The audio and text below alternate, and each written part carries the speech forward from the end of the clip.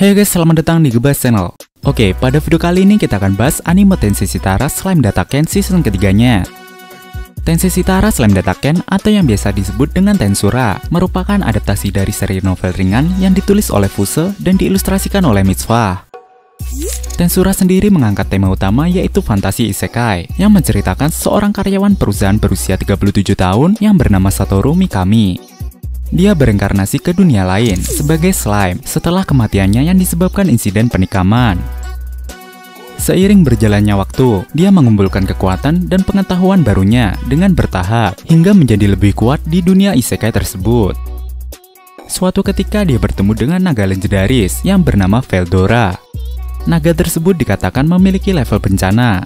Singkat cerita, kemudian mereka berdua menjalin pertemanan Secara mengejutkan, Veldora ingin memberi perlindungan supranatural kepada slime itu dengan memberikan nama baru Rimuru Tempest. Secara otomatis kekuatan sang naga bergabung dengan slime tersebut.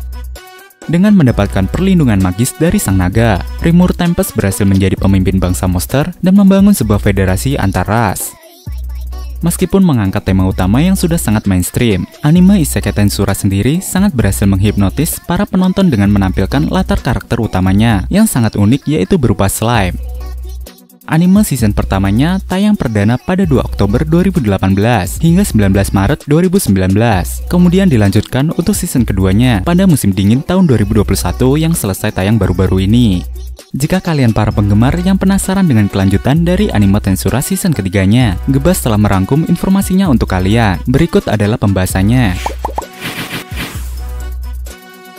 Season kedua dari anime ini ditayangkan perdana pada 12 Januari 2021. Tidak seperti season pertamanya, season kedua anime ini merupakan anime spin-off core, dan untuk bagian pertamanya diselesaikan di episode ke-12-nya pada 30 Maret 2021 baru-baru ini.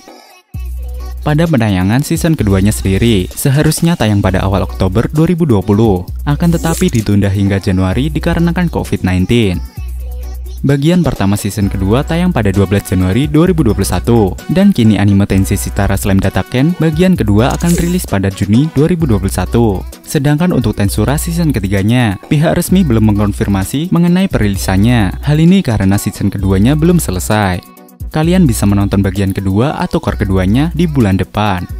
Akan tetapi jika melihat dari segi antusias para penonton yang begitu besar, Tensura season ketiga hanya tinggal menunggu waktunya saja untuk direalisasikan.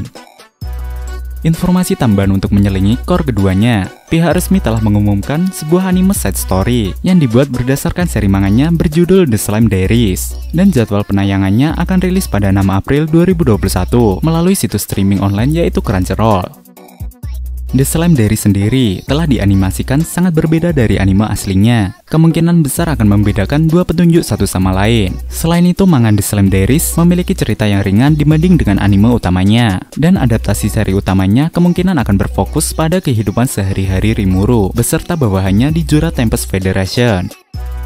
Hey guys, buat kalian yang penasaran dengan kisah karakter dari sebuah game, seperti game-game favorit kalian ini, langsung saja kunjungi ke channel Gebas Game. Di sana kita akan bahas semua kisah universe, karakter, dan juga update info-info menarik seputar dunia game ke depannya. Langsung saja kunjungi ke channel Gebas Games, link ada di bawah. Oke lanjut. Plot Tensura Season ketiga alur cerita season ketiga akan bisa kita prediksi hingga season keduanya benar-benar selesai. Akan tetapi kita dapat dengan aman memprediksi apa yang kemungkinan terjadi melalui Tensei Shitara Slime Dataken season kedua bagian keduanya. Di Octagram Source Breakly, dan seterusnya volume ke-6 mungkin akan diadaptasi dalam episode mendatang, dan kemudian nasib Carrion mungkin akan terungkap. Rimuru mungkin memutuskan untuk mengejar Clayman atas pembantaian dan kehancuran Tempest keberadaan Veldora mungkin akan menjadi penting untuk keberlangsungan cerita selanjutnya, terutama bagi gereja suci barat. Dan itu saja untuk video kali ini. Sampai jumpa di video selanjutnya. Bagaimana pendapatmu? Ada tambahan? Silahkan berikan komentar kalian pada kolom komentar di bawah. Gebas akan kembali lagi, tetap nantikan video selanjutnya. Jika kalian suka video seperti ini, tekan tombol like dan share video ini. Jangan lupa tekan tombol subscribe serta lonceng di sebelahnya. Terima kasih telah menonton sampai akhir. Sampai jumpa di video selanjutnya. 7777兆7777億7777万7777 777と7777億7777万7777